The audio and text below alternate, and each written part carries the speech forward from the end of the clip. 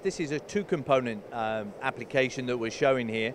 So standard SIB series machine, 150 ton clamp force, and we have a vertical second injection unit. Do I have to buy the machine like this? No, we can, we, we can retrofit this unit to um, past series of RoboShot machines, or we can provide it um, completely with a turnkey package from, uh, from, from the new ma- machine range. Very simple terms, two different types of plastic, two different colours. Yeah, whatever. There's many applications in two-component molding. It could be dissimilar materials, it could be similar materials, one hard, one soft, depending on what you want to get out of the, the product and the, and the end application. What's actually going on with the process in this machine then? Yeah, so what we're doing here is we, we've got a, um, an application which is an ice scraper as a nice giveaway. We're making a two-component molded part, so a hard base material, uh, which uh, is then overmolded with a thermoplastic elastomer to give a soft feel uh, and yeah, two, dual functionality of the part. What we also have is the integration of an additional servo core which is allowing us to drive the rotary indexing plate Right. via our FANUC servo core technology.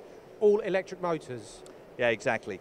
So we, we can integrate a range of motors for any mold applications that need rotational, linear movements, you know, gearboxes can be introduced into the mold design, uh, and it allows us to give a complete all-electric solution. So we don't need hydraulics for hydraulic core cylinders, which is even more a requirement for clean room molding and molding in environments where, where airborne particles come from the uh, hydraulic oil. This environment, this economy at the moment, power saving is really key, isn't it? Yeah, exactly. Yeah, we can be the most efficient um, with a complete all-electric machine package. And I noticed there's a robot arm out the back.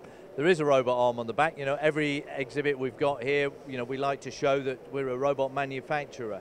Um, this is what we call a, a, a QSSR package. Right. So basically, it's a quick and simple startup robotization package.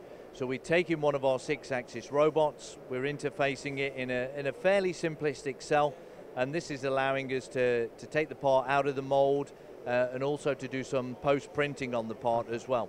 But any sorts of application, not just printing. Yeah, exactly. Could be quality control checks from a visual perspective. It might even be from a weight check perspective. Now we said QSSR. What about HMI? HMIs are basically our human uh, machine interface. So from that perspective, the SIB series, we have a brand new control system, and this is allowing us to, to show more than one page on a, on a single visualization at any one time. And this is key really when we have the second injection unit, because that means we can view the setting pages from both the horizontal injection unit and the vertical injection unit. Okay, and you've got a separate screen over there, and that's for your, uh, if, you, if you're retrofitting it, is that correct? Correct, yeah. So this can act as a standalone unit on, a, on an older machine range where this capability is not available. Um, but we do have a switching function for the old uh, control series that allows us to swap between the settings of the standard machine and the settings of the vertical uh, second injection unit. It's not just a vertical injection unit that we offer. Uh, we offer a horizontal unit which comes from the rear of the machine. Right. Um, this allows different configurations of tooling and application and also access for automa- automation from the top of the machine.